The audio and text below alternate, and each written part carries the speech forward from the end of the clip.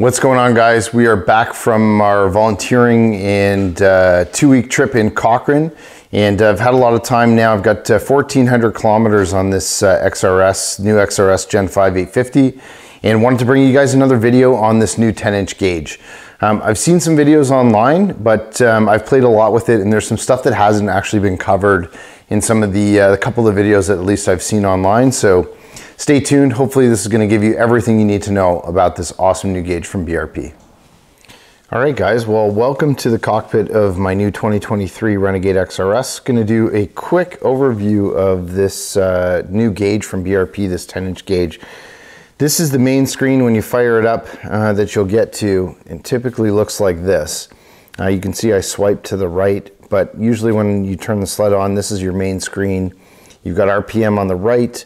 You've got a bunch of options for what you can actually have uh, loaded in the center for data, and then on the left side, you've got your kilometers an hour. On the bottom here, I've got my trip A. You've got your outside, uh, or actually that's your engine temperature, and then you've got your fuel gauge. You got a power button where you can power down the screen. You've got quick uh, preferences there, and then you've got the icon to show whether or not your Bluetooth is actually connected to your phone or not. So I'm gonna do as much of a detailed walkthrough of this gauge as I can in this video. Uh, first thing I do wanna show you is there are four main screens that you can uh, basically get set up on the sled that will, um, I'll show you in a second, also can be um, accessed through your handlebar uh, buttons. Bottom uh, right corner here is what you'd use to get to your main, uh, all your main settings on the gauge itself. So anytime you wanna go there, you just click that with your hand. You've got phone, you've got media, you've got statistics, you've got your vehicle, you've got preferences, you've got uh, BRP Go navigation, and then your handlebar, uh, handlebar control. So we'll go into each one of these as part of uh, this overview. So the first thing I want to show you is these four main views that you have available to you on the screen. This is the first one, which I just showed you. And when I click the page button, again on the uh, left of the um, handlebar assembly, this one will give you all your data on the left, plus your mapping through BRP Go on the right, and we'll show you that after. Click it again and you get to your media, so you can control your music. And then your next one gives you all your current ride information. So your average speed, your duration and distance. And basically this is nice because it resets every single time you start the sled and you start a new trip. So really, really like this feature this year and that's definitely new. All right, and then you're back to your main screen. So one of the things on the main screen is there's a couple of uh, kind of really cool hidden features that I haven't seen. And there's a lot of videos that are out there I know that have been circulating online. So I'm gonna show you uh, some of those features right now. If you hold this middle section, you can get rid of your coolant temperature. Hold it again, and that gives you your access to your suspension and your smart shock so you can adjust for comfort, sport, or Sport Plus. So very nice, uh, very nice feature there. So we'll keep that in Sport. And then you hold it again, that will give you battery voltage. Hold it again, that will give you back to your coolant temperature. So those are the options you have for that middle part of the display, which I really like. Some of the other hidden features um, that I don't know if anybody has actually figured out yet, but hopefully through this video you'll see.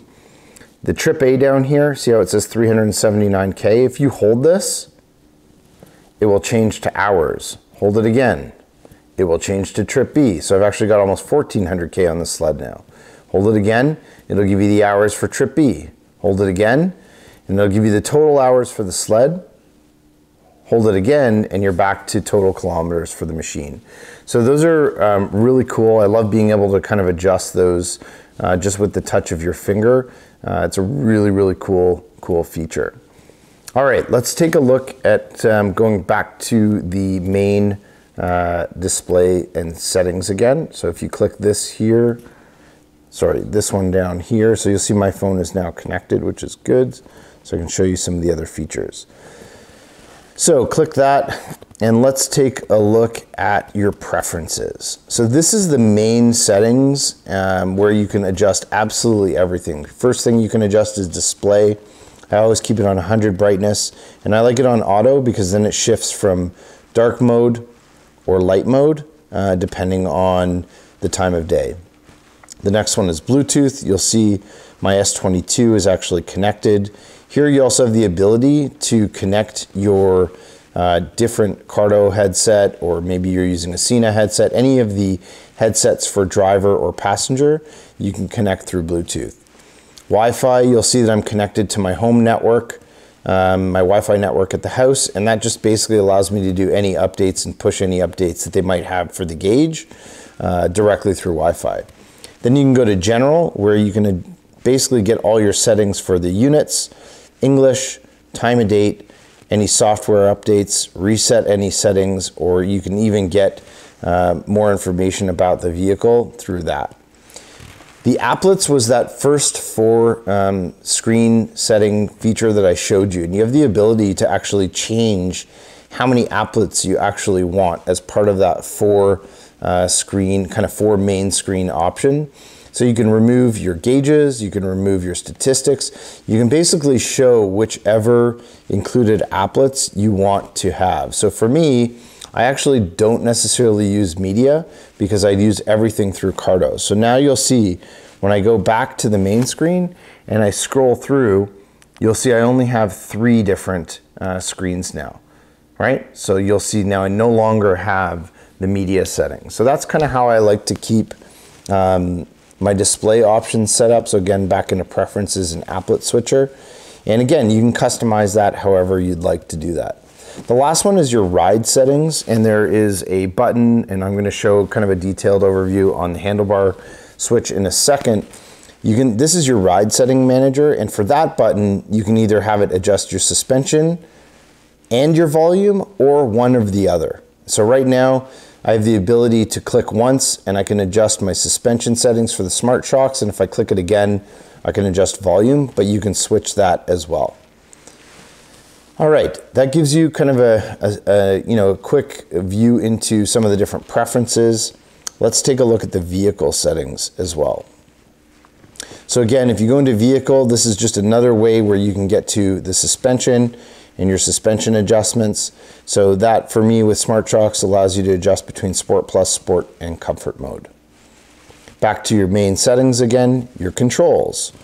So this has uh, been a lot of talk online about kind of how BRP has integrated the heated grips and now giving you this heated ratio option for your, uh, your grips as well as your thumb. So you can see right now I have it on the lowest possible setting and you can just touch that and get to the setting that you want. And same thing, you can basically adjust how you want the heat distributed. You can either have more that goes towards the thumb or more that goes towards your grips. So that kind of gives you an idea as to what the controls are like for uh, adjusting your uh, your heat options. I find that they work really, really well. Haven't had any issues. I actually find that it works better than the older uh, version as well, where you kind of just had either super hot or nothing. Uh, it seems to be more balanced this year. All right, so if we go into statistics, this takes you back to that current ride display, and that's basically where you've got your average speed, duration, and distance. Now, what took me a little bit to figure out and I wanted to show you guys is if you go into, uh, let's just see where I can get to it. All right, so here's what I wanted to get to. So this took me a bit to figure out, but you basically, I'm always playing around with my trip A and trip B settings. So you always want to be able to get that information. So you have to go to current ride and then back. And that's how you get to your trip A and your trip B settings. So I often like to adjust my trip A uh, settings. So if you click that, it will show you, okay, average speed for trip A was 42, duration eight and a half, uh, that was 378 kilometers. And if you want to reset that, you just click that three dots up here and click reset trip. And that's your trip A. Trip B is basically, I think since I've had the sled, so, you know, I've got almost 1400 kilometers on it now and uh, almost 40 hours, average speed of 35 kilometers an hour. And same thing, you just click that and that's how you basically reset your trip. So I'm gonna leave my trip B, but my trip a is reset or I can go to my current ride. So this really reminds me of my, uh, my Ford F-150. Every time I get in it, it, it, it resets uh, for that particular trip. It shows me how far I've gone on electric mode. Um, I absolutely love this feature. I think it's amazing, and I love that they've included that this year as part of the uh, the gauge package. So. Um, that pretty much covers, you know, the main functionality of the gauge. I'm going to show you guys a little bit on uh, BRP Go as well for the navigation. So if you click that, and hopefully this won't time out. And basically what you want to do is once you've got your phone all Bluetoothed up to the sled, you can plug it in. And it should start BRP Go automatically here. Let's see. There we go. Now it should go. There we go. So that will start BRP Go automatically and then you basically just want to touch navigation and this is going to pull up your OFSC uh, mapping. So agree to the terms of use. It takes a second. There we go. So you'll see um, right now it gives you a really great view of the map and you can basically zoom in and zoom out quite nicely. So you'll see me at my house here.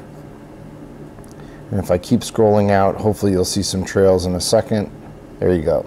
So you can now start to see where the trails are and it gives you the latest and greatest information of whether or not that trail information is open, closed.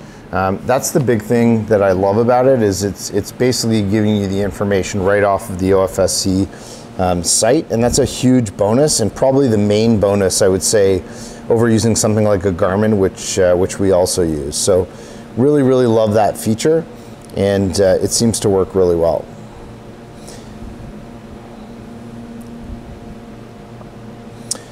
All right, so if you look at this is where you'd get into any of your upcoming rides. And again, you basically want to do this all through BRP uh, Go app this will give you the nearest locations or some of the uh, points of interest that you might want to navigate to. And you know, you basically can click any of those just like you would on a Garmin or in your vehicle, and then it will give you directions by trail right to uh, those locations. You've got um, favorites as, well, which doesn't seem to be working right now. Let me just try this again.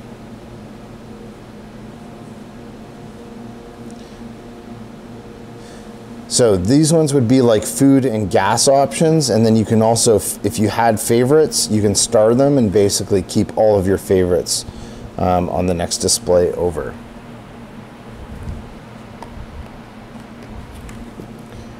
And then this one here would take you back into your main settings, which just allows you to choose between metric and imperial. And then then back to your main map. Anytime you press um, go, it's basically gonna start your trip. So if you wanna start riding and start recording your trip, you would do that and you would hit start.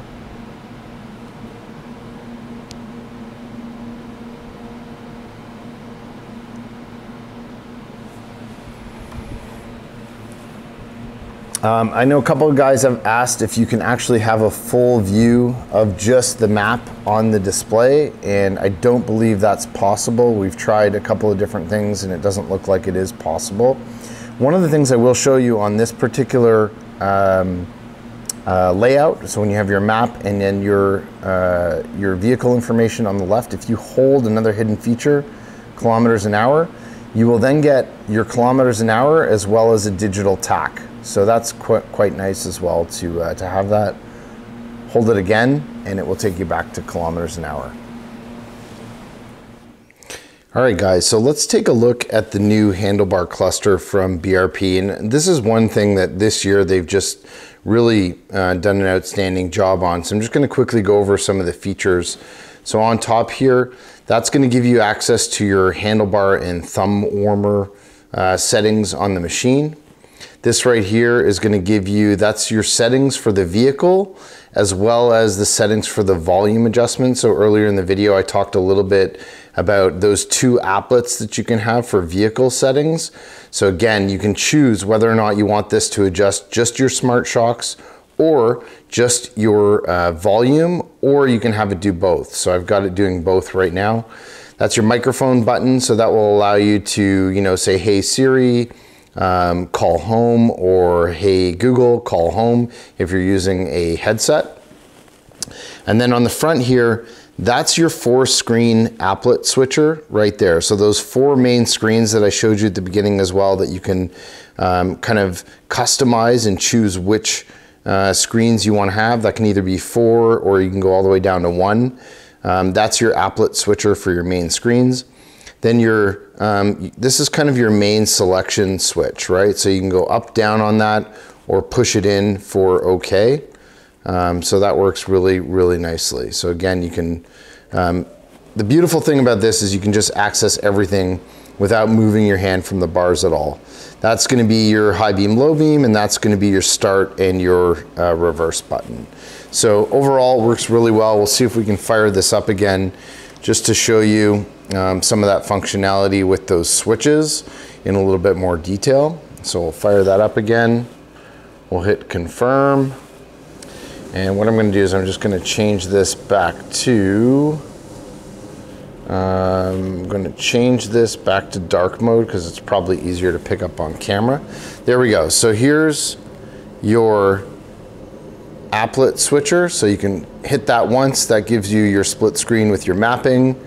Hit it again, it gives you your current ride statistics. Hit it again, and it takes you back to your, uh, your main screen. So really, really love that. And again, you hit that once, that does your handlebar adjustment for your warmers and your, um, let's just wait till that goes away. Click it, keep clicking it, and you can adjust exactly what temps you want your handlebar warmers and thumb warmers to be at. Your settings button on top, click that and it allows me to adjust my smart shocks or volume. So smart shocks and then you would go up and down with your, um, let's hit that again. So up and down to go sport, plus, sport, or comfort and then just click in to hit OK on whichever setting you want. Same thing if you want to do volume, you click it twice and that will give you your volume and then you just hit up and down on the uh, on the side here, up and down, and that will allow you to adjust uh, the level and then hit OK.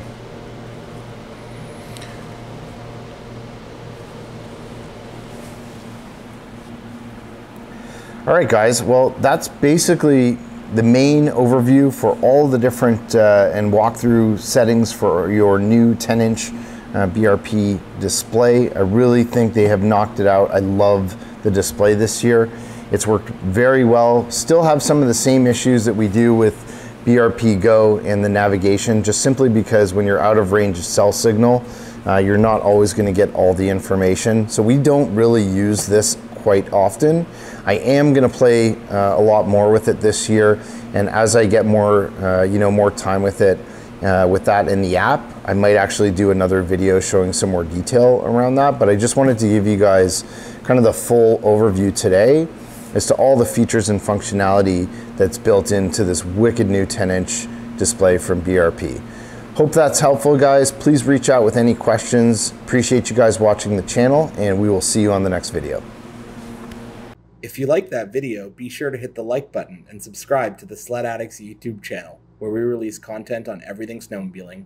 Also, hit that bell icon so you can be updated every time we release new videos.